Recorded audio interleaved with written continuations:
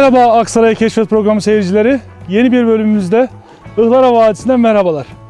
Bugün sizlerle hem Ihlara Vadimizi gezeceğiz hem de Aksaray Bisiklet Gezginleri Başkanı Melih Yergüler'le sohbetlerimizi gerçekleştireceğiz. Bulunduğumuz mevki Ihlara kasabası Güzelyurt yolu arasında. Ihlara Vadisi'ne hakim bir konumda. Biraz sizlere Ihlara Vadisi hakkında bilgi vermek istiyorum. Ihlara Vadisi eski ismi Peristremma olan 9. yüzyıldan sonra din bilginlerinin, din adamlarının dinlenme yeri olan Melendiz çayının yıllar boyu, uzun yıllar boyu debisiyle, akış hızıyla oyuk halinde şekillendirdiği bir vadi. Yaklaşık 14 kilometre uzunluğunda Ihlara kasabasından başlıyor. Daha sonra Belisırma, ondan sonra Zıga kaplıcasının yanından geçip Yaprakhisar bölgesine açılıyor. Selime Katedrali'nin olduğu yere. Oradan da Mamasın Barajı ve ardından Tuz Gölü'ne doğru devam ediyor. Bugün sizlere biraz dağ bisikletçiliğinden veya bisikletten bahsetmek istiyorum. Bisiklet insanoğlunun tarih boyunca doğaya en az zarar veren gezi icadıdır. Herhangi bir çevre kirliliği yapmaz, yakıtı yoktur. Gezerken çevreyi izleyebilip de yol hakimiyetini kaybetmediğiniz, yanındaki kişilerle sohbet edebildiğiniz bir gezi aracı. Şu an görmüş olduğunuz bisiklet 29 inç bir dağ cross bisikleti. E, neden dağ cross bisikleti diyoruz? Her e, şeyde olduğu gibi bunun da çeşitleri var. Biraz onlardan bahsedelim. E, bu dağ cross arazide, toprak yollarda kullanabilmek için üretilmiş. Tekerleri, ön süspansiyonu, aerodinamiği ona göre. Bunun dışında ne var? Halkımızın bindiği şehir bisikletleri. Şehir içi ulaşım için kullanılan konforu daha üst seviyede ama hızı veyahut da toprak yollara girme seviyesi düşük. Onun dışında ne var? Yol bisikletleri. Bu bisiklet yarışlarında kullanılan ince tekerli. Onlarla toprak arazide süremiyorsunuz. Tekeri çok ince olduğu için ilerleyemezsiniz. Ama asfalt veya beton zeminde e, yüksek hız yapabilirsiniz. Ulaşacağınız yere daha çabuk gidebilirsiniz. Bir de son yılların yeni modası var. Cycle cross'lar. Onlar nedir? Melez bir e, bisiklet türü. Daha cross bisikletiyle daha cross bisikletiyle e, yol bisikletinin arasında bir form. Onda da amortisör yok. Ama e, aerodinamiği, darbeleri daha emici şekilde, tekerler biraz daha kalın. Onlar da şu sıralar revaçta. Bisiklete binerken, dağ bisikletine binerken almamız gereken önlemler, kıyafet nedir ne değildir onlardan bahsedelim. Öncelikle mutlaka kaskımız olacak. Ummadığımız zamanda karşılaştığımız bir darbe olursa bizi koruması için. Ee, şöyle bir soru geliyor akla. Motosiklet sürerken de kask kullanıyoruz. Yamaç paraşütü yaparken de kask kullanıyoruz. Dağcılar da kask kullanıyor. Farkı var mıdır? Evet, e, bisiklet kaskı daha rahat kullanılabilmesi için çok daha hafiftir. Yani şu elimde gördüğünüz kask 50-100 e, gram arası bir ağırlığa sahip. Çok hafif, dayanıklılığı yüksek e, ama çok fazla yüksek değil. Neden? Bisikletle çok büyük hızlar yapamıyorsunuz. Düşük hızlarda kaza yapma riskiniz olduğu için mukavemeti daha düşük, hafifliği daha ön planda. Onun dışında mutlaka elcek. Neden? Kısa mesafelerde elleriniz yıpranmıyor ama dağ bisikletine bindiğiniz zaman Melih Başkanlarla yani Aksaray bisiklet gezginleriyle yıllardır bisiklet sürerim. Pazar sabah 8-9 gibi yola çıkıyoruz. Ta ki akşam 5, 6, 7'ye kadar. Günlük 70 kilometre, 100 kilometre, 130 kilometre sürdüğümüz zamanlar oluyor. Tabi böyle durumlarda elleriniz çok çok yıpranıyor. Onun için ellerinizi koruması için bisikleti daha rahat kullanabilmeniz için elcekler kullanıyoruz. Bir de gözlüğümüz. Gözlük e, neden derseniz hız yaptığınızda yüzünüze bir rüzgar geliyor. Bu rüzgar zamanla bir 5-10 dakika sonra veya yarım saat sonra sizin gözünüzde kurumaya sebep oluyor. Bu da ileride göz rahatsızlığı çekmenize sebep olabilir. Onun için onu engellemek adına bisiklette, gözlükte kullanıyoruz. Peki bir dağ bisikletiyle yola çıktığınızda bu ekipman yeterli mi? Hayır. Neden hayır? Patikalara giriyorsunuz. Dağlara gidiyorsunuz. Tarlalardan geçiyorsunuz. Lastiğiniz patlayabiliyor. Onun için her dağ bisikletçisinin yanında selesinin altında bir çantası vardır. Ve bu çantanın içinde alyan takımı, acil durumlar için sağlam bir 5-10 metrelik ip ve yama setleri bulunur. Ve pompası da bisikletinde takılı olur. Lastiği herhangi bir yerde patladığında lastiğini söker, tamirini yapar ve sonra tekrar yoluna devam eder. Bisikletle ilgili önemli noktalardan biri de şu ki bisikleti yarım saat mi sürdünüz? Bir saat mi sürdünüz? Üç saat mi sürdünüz? Bu sizin metabolizmanızda çok büyük değişikliklere sebep oluyor. Hani spor için bisiklet sürelim dediğinizde ilk bir saat metabolizmanızda bir hızlanma oluyor ama yüksek değil. Siz o ilk bir saatten sonra devam ettiğinizde vücudunuzda sadece karbonhidrat tüketmiyorsunuz. Vücudunuz karbonhidratın yanında yağ moleküllerini de parçalamaya başlıyor. Bu da sizin daha sağlıklı olmanızı sağlıyor. Ayrıca belli bir ritimde bisiklet sürdüğünüz için kan dolaşımınız ani değişikliklere gitmiyor. Belli ritimde düzenli hızlanıyor. Bu da sağlığımızı çok ama çok olumlu etkiliyor. Gelelim bisiklet kıyafetimize. Bisiklet kıyafetleri vücut e, sürekli hareket halinde olduğu için, enerji harcadığı için ısınacaktır ve terleyecektir. Tamamen vücuda mümkün olduğunca yapışık ve teri dışarı atacak şekilde tasarlanmıştır. Sebep şu ki ter kıyafetinizi ıslatıp onda durursa sizin hastalanmanıza sebep olabilecektir. Onun için vücuda yapışık ve teri dışarı atan bir an önce kurumasını sağlayan kumaşlardan kullanılır. Onun dışında bisiklet taytı vardır. Siz selenin üzerinde saatlerce oturduğunuzda bu sıkıntı yaratmasın diye içlerinde özel süngerleri vardır ve bu sayede fazla sıkıntı çekmeden uzun süre bisiklete binebilirsiniz. Onun dışında biz şu an Ihlara Vadisi'ne gireceğimiz için e, bisiklet kramponu giymedik. Biraz ondan bahsedeyim. Bisiklet kramponu altında ufak bir mekanizması var. Normal pedal kullanmıyorsunuz. Onu çıkarıp buraya ufak bir mekanizma takıyorsunuz. Onunla anahtar kilit şeklinde uyumlu. Taktığınızda pedalınızı çevirirken iki yöne de ileri de geriye de ayağınızı çevirirken gücünüzü sizin ilerlemeniz için aktarabiliyor. Ama normal pedal kullandığınızda sadece ve sadece ayağınızı ileri doğru bastığınızda ilerlersiniz. Ama o kilitli pedallarda geriye doğru çeken de çekerken de gücü vermeye devam eder. Bu da sizin daha az performansla daha iyi yol kat etmenizi sağlar. Ayrıca ayrıca e, bisiklet ebatlarından bahsedelim. Daha öncelerinde yani 5-10 yıl öncesine kadar bisiklet tekerleri 26 inç olarak üretiliyordu genelde. Sonrasında 29 inçler çıktı. Daha büyük tekerler. Bu size ne sağlıyor? Arazide engelleri daha rahat aşmanızı sağlıyor. Tekerin çapı büyüdükçe engelleri daha rahat aşıyorsunuz. Ama yokuş rampa çıkarken tabi olumsuz etkileri de oluyor.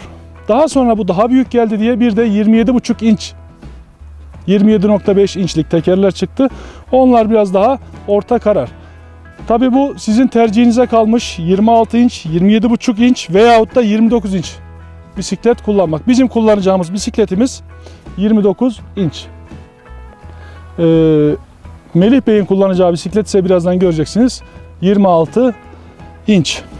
Şimdi kaskımı eldivenimi takıyorum. Melih Başkanımla Ihlara Vadisi'nde süreceğiz. Buluşma noktasına doğru, bilet kişisine doğru pedallamaya başlıyorum.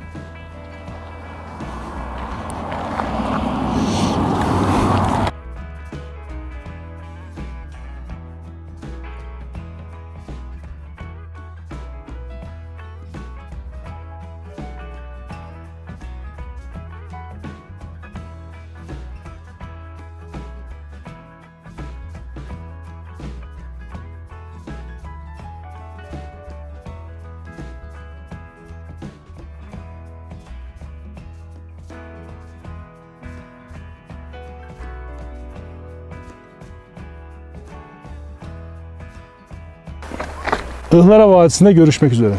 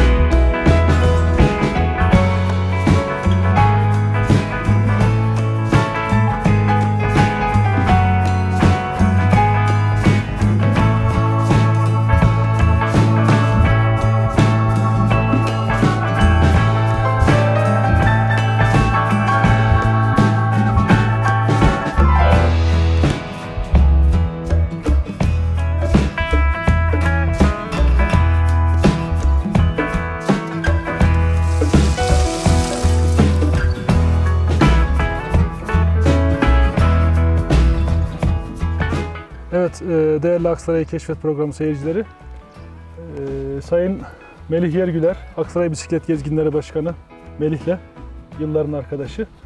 Ihlara Vadisi bisiklet geçişimizi gerçekleştirdik. 14 kilometre. E, Ihlara kasabasından başladık. Belisırma, Belisırma'dan sonra Yaprakhisar. Ve şu an Selime, Kızılkaya arasındaki bir mevkideyiz. Melendiz Çayı'nın hemen kenarında Söğüt ağaçlarının altında. Ve birazdan kampçıların, bisikletçilerin, dağcıların vazgeçilmezi olan e, közde sucuk yapacağız. Bunu yaparken hani programımızın başında da bahsetmiştik sizlere. Dedik ki gittiğimiz yörelerdeki e, ekmeklerden veya besinlerden de e, programımızda bahsedeceğiz. E, Melih Başkanımın geleneksel bir yemeği var. E, Adana sucuk. Doğan tarladan alınan yeni yapılmış sucuk. Onu Ee, şişe kendisi Adana usulü geçiriyor. Adanalı olduğu için sanırım daha yatkın bu işlere. Ee, o sırada ben normal sucuğun da şişine hazırlayacağım. Burada e, budanmış söğüt dallarından bir parçalar aldım. Bunlardan bir sistem kuracağım birazdan. Sonra e, söğüt dallarından kestiğimiz, taze, taze söğüt dallarından kestiğimiz şişlere sucuklarımızı takıp pişireceğiz. E, burada şundan bahsetmek istiyorum sizlere. Söğüt, e, Latince yani bilimsel ismi Salix alba. Türkçesi ak söğüt, Aksaray'da aşırı yaygındır. E, su kenarlarında, dere kenarlarında e, veya yeraltı suyu kaynaklarının toprağa yakın olduğu yerlerde bolca yetişir. E, İçerisinde salisilik asit vardır. Salisilik asit ise çok yaygın olan bir ağrı kesicinin ham maddesidir. Onun için söğüdün altında dinlendiğiniz zaman bu maddenin etkisiyle e, kendinizi daha dinlenmiş, daha dinç, daha huzurlu hissedersiniz. Hele bir de dere kenarıysa serinlikle birlikte. Evet, e, Melih Başkanım, ben bu hazırlıkları yaparken e, bize bisiklete nasıl başladınız? Aksaray'da Aksaray bisiklet gezginleri nasıl kuruldu? E, bu bisikletle ilgili ne tarz faaliyetler var? Aksaray e, bisiklet turizmi yönünden nasıl bir konuma sahip? E, bunlar hakkında bilgi verebilir misiniz? Tabii ki bisiklete 2010 yılında başladım ben. Evet. Ondan sonra e, ilk bisikletimi 2010 yılında almıştım. Spor amaçlı başladım. Boş zamanlarımı değerlendirmek için. Ve Aksaray'da tabii bisiklete uygun bir yer olduğu için düz bir yerde olduğu için Aksaray. E, ulaşım amaçlı da kullanmak için aldım bisikleti. Ondan sonra e, tabii bu e, zamanla bazı arkadaşlar da katılmaya başladı bana. Çevremdeki dostlarım. Gezilere çıkmaya Tabii, başladınız. tabii işler e, tabii turlarımız her geçen gün artmaya başladı. Peki turlar derken e, turların içeriği nedir? Ya, turlarımız genellikle Aksaray çevresi. Hafta sonları yaptığımız e, uzun turlar. E, pazar Mesela uzun tur e, kaç kilometre? değişiyor ya. 50 de oluyor, 100 de oluyor, 150 de oluyor. Değişiyor rotamıza göre. En uzun turunuz kaç kilometreydi? Aksaray'da yaptığımız 150 idi. 150. Evet, Sanırım o kilometreyle Aksaray'ın bütün ilçelerine gün içerisinde gidip gelmek mümkün. Tabii tabii. Turlarımız işte genellikle e, Güzel Yurt, Narlıgöl, e, Taşpınar, e, Sultanhanı, Gülpınar, Saratlı. E, Tabii bu gidişleri e, sayın seyirciler yaşadığım için biliyorum. Kesinlikle sizi mümkün olduğunca asfalttan götürmez. tabii, Nerede bir dik yokuş var, nerede bir toprak yol var, nerede bir arazi var, nerede perişanlık var mutlaka yolunuzu oradan bir geçirir. tabii tercihimiz her zaman e, e, yol asfalt yolların dışında tercih ediyoruz. E, tal yolları, dağ yolları genellikle yani dağ bisikleti de kullandığımız için bu yolları tercih ediyoruz biz. E, bu şekilde. Evet. Peki e, festivallerden, turizme katkılarından, Aksaray'ın tanıtımına katkılarından da bahsedebilir misiniz? Ya burada Aksay'da e, buradaki arkadaşlarla birlikte 3 defa e, ulusal çapta e, bisiklet festivali düzenledik. E, Türkiye'nin her yerinden, her yerinden yaklaşık 150 kişi ortalama bisikletçiler geldi buraya. Evet. 3 gün boyunca e, burada kamp attık. Ihlara 150 bölgesine- kişi. 150 kişi. E, ortalama kamp attık ve burada belli başlı vadi geçişi olsun, güzel yurt olsun, Hasan'da olsun Evet. gelen arkadaşları gezdirdik 3 gün boyunca. Bu tabii çok önemli bir katkı sağladı Aksaray'ımız için. Kaç festival düzenlediniz? 3 defa düzenledik şimdiye kadar. Türkiye çapında. Buna kurumların katkısı oluyor mu? Tabii tabii bunları belediyelerimizin katkıları oldu. Zaten onların desteğiyle, Belediyelerin, valiliğin. valiliğin tabii. Onların desteğiyle Peki siz gidiyor musunuz festivallere? Tabii burada birçok arkadaşımızla birlikte e, kendimiz de festival yaptık dediğim gibi. Başka festivallere de katılıyoruz. Mümkün olduğunca her yıl bir iki festivale katılmaya çalışıyoruz. E, Her sene farklı bir festivale katılarak e, biz de oraların güzelliklerini, farklı güzelliklerini görmek için başka bisikletçi arkadaşlarımın yaptığı e, festivallere sürekli katılıyoruz. E, Hatta bazen arkadaşlarla şey yapıyoruz, e, kendimiz uzun turlar yapıyoruz. Evet. eşyalarımızı yanımızda taşıyarak, çadırımızı, matımızı yanımızda taşıyarak bir hafta 10 gün boyunca, 2 hafta boyunca kendimize önceden bir rota belirleyerek uzun turlar yapıyoruz. Aksay ayrıca turizm açısından da gerçekten bisikletçilerin bildiği bir yer. Ee, o Çünkü- sadece Türkiye'de değil. Yani dünya çapından geliyorlar. Tabii tabii. Şimdi e, dünya turu yapan e, yabancı bisikletçiler var. Bu Rotaların ülkeleri içinde- sayabilir misiniz bize şu Ya ana kadar karşılaştığınız? bilmiyorum çok ülkeyle. Fransa, İspanya, Almanlar, Amerikalı, Malezyalı, Rus yani her türlü ülkeden yani birçok ülkeden insanları burada misafir ettik biz. Evet. ve- Peki e, sevgili seyirciler, e, bu gelen bisikletçi turistler e, sıradan insanlar değil. Bunların e, gerçekten büyük takipçileri var. Çoğu dünya turuna çıkan veya Avrupa, Asya turlarına çıkan bisikletçiler. Onun için büyük bir takipçileri, büyük bir reklam, büyük bir tanıtım özelliğidir bisiklet. Bizim Kapadokya bölgesinde olmamız, Türkiye'nin tam göbeğinde, orta konumunda olmamız ulaşım açısından e, bize çok büyük artılar kazandırıyor. Bu bağlamda e, bisiklet dünya çapında Aksaray'ı tanıtan bir araç, bir spor dalı. Evet şimdi ben şişte sucuğu hazırlayacağım. E, değerli başkanım da Melih usulü Adana sucuk şişi yapacak. Evet hazırladığım düzenekten bahsedeyim bir de size. Bu şekilde 4 tane ayak koydum. Ee, dalları koyacağım. Sonra dallar arasında sucuğumu takıp pişireceğim. Her iki sucuğun arasına bir dilim kaşar gelecek şekilde. Daha sonra bir sucuk, bir kaşar. Kaşarları delerken şey e, döner çevirerek delerseniz kaşar yırtılma yapmaz. Gördüğünüz gibi hazır. Kaşarların düşmemesi için biraz sıkışık olmasına fayda var. Bu normal şekli. Pişirmek için sucuklarımı Melih Başkanımı bekliyorum. Onun Adana sucuğunu, şişte Adana sucuğunu bir görelim. Tamam. Şimdi bu şekilde. Şimdi bunu yapmamızın tabii bir sebebi var. Sucuk taze olduğu için daha 1-2 günlük sucuk olduğu için o şekilde kesmemiz mümkün değil. Yani bunu da bisikletle geldiğimiz için ızgara veya buna benzer bir şey olmadığı için sucuğu yapmanın, taze sucuğu yapmanın en iyi şekli bu. Şimdi burada şöyle bir durum var. Bisikletle gezdiğiniz zaman e, ne kadar hafif o kadar rahat. E, ne kadar hafif o kadar e, konforlu sürüş. Onun için bisikletçi yanına çok malzeme almak istemez. Hatta bisiklet kadroları artık alüminyumdan yapılıyor ki daha hafif olsun diye. Jantlar alüminyumdan, e, sele boruları alüminyumdan, gidon alüminyumdan mümkün olduğunca alüminyum kullanılarak hafifletilmeye çalışıyor. Çalışılıyor. Peki eee, şimdiye kadar ne kadar yol yaptınız bisiklette? Bunun bir şeyi var mı? Ya Kaydı, küreği. kaydı var aslında ben bütün e, turlarımı e, GPS bir uygulamada kaydediyorum.